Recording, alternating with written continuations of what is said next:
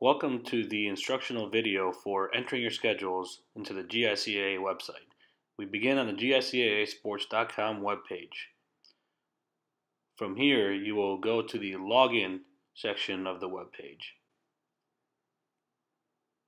Once on this page as an athletic director, you will select schools to log in. At this point, you will enter the login which we have provided you if you have any questions about your login, please contact the office and we will get you that information.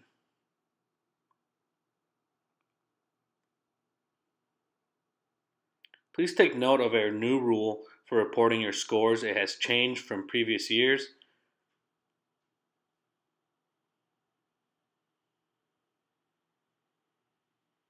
At this stage, for entering your schedules, you will go to Add Edit Schedules.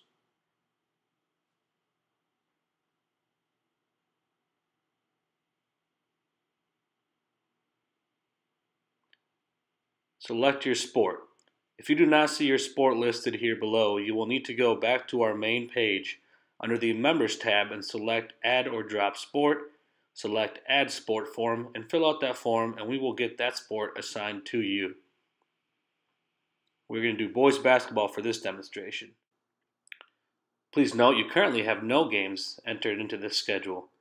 To begin, please enter the date of the game. Pay special attention to the year if you accidentally put 2017 for a 2018 game and that date has already passed, you will get the email letting you know that your game reporting is past due.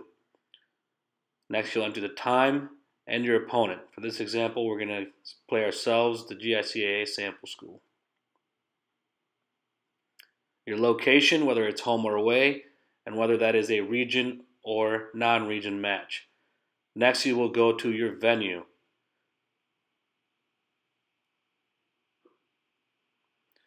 If you do not see your venue listed, you will click the click here next to venues and we will walk you through how to do venues in a different video.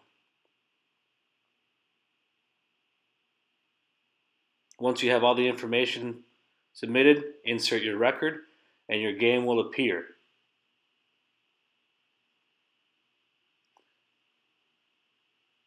From this point, you can continue to enter all your games in this fashion. Please note, if any game that you have during the year is postponed or canceled, you will need to come into this section and either edit the game date if it was postponed or delete the game if it was canceled.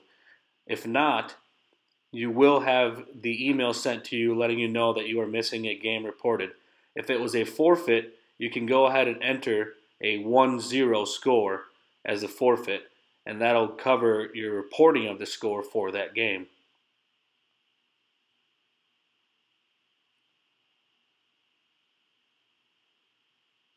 Once you've entered in the information for your next game, you will submit it. And as you see, each time you add a game, your schedule is created. This will automatically populate onto our website. That is all we have for the scheduling part. If you have any questions about this, you can feel free to contact our office and we'll help and guide you in any way possible. Thank you for your time.